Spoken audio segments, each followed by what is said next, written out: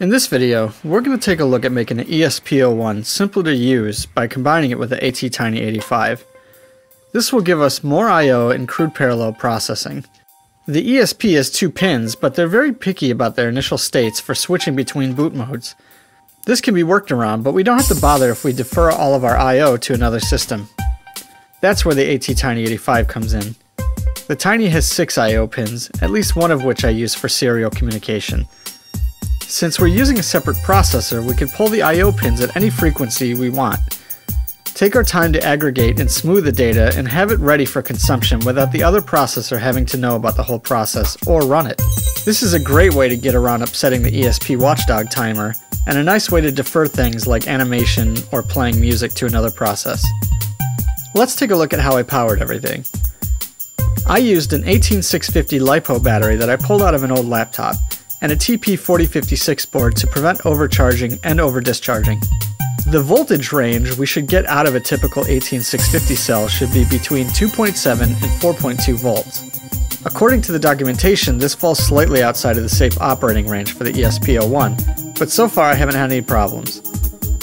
This range works just fine for the ATtiny85. Given the fact that we can run both of these off one cell, this makes this a good setup for small, rechargeable, Wi-Fi enabled portable projects that don't require a ton of I.O. or speed. this awful graphic shows my layout for all the components. Hopefully you could still follow how I connected everything. First we have power coming from the battery to the charge controller. Then it gets safely distributed out to the Tiny, the LEDs, and the ESP. Next we have the ground wired up in pretty much the same way. For serial communication, we connect pin 0 from the Tiny to the RX pin on the ESP, and pin 1 from the Tiny to the TX pin on the ESP. Finally, pin 4 on the Tiny goes to the data in of the NeoPixels which are chained together, and pin 2 goes to the buzzer. For this particular project, the Tiny controls the output of the two NeoPixels and the buzzer. I don't actually have to send any information back to the ESP, so that could have saved me an extra pin from RIO. The ESP will send messages to the Tiny. Like I said before, the Tiny can manage things like color fading, playing notes, or even whole tunes, and the ESP can just tell it what it wants without ever having to manage any of it. Actually, working with these two microcontrollers can be a challenge if you're used to the convenience of something like an Arduino Uno. Neither have their own USB interfaces. So the first thing you'll need to do is get an FTDI or a USB ASP interface to communicate with them. I'm currently using both. Before we get started, make sure you have the appropriate drivers installed for your FTDI or USB ASP programmers. In order to program the ATtiny85, you'll first need to install the boards package. You can find that by going into the boards manager and searching for ATtiny85, then installing the library by David A. Mellis. Next, you'll need to select the ATtiny board, set the clock speed to 8 MHz internal, and then change the processor to the ATtiny85. Because most Tinys come set at 1 MHz, we'll have to change it to 8 MHz by burning a new bootloader onto it. If you're using the USB ASP programmer for this, you'll have to short the slow SCK jumper in order to slow down the burning process for 1 MHz.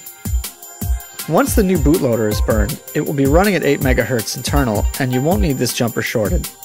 Now programming the ATtiny85 is pretty much just like any other Arduino.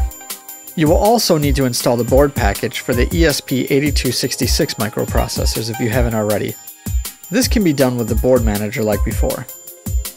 Once you've done that, select the generic ESP8266 board and you're ready to set up hardware for programming.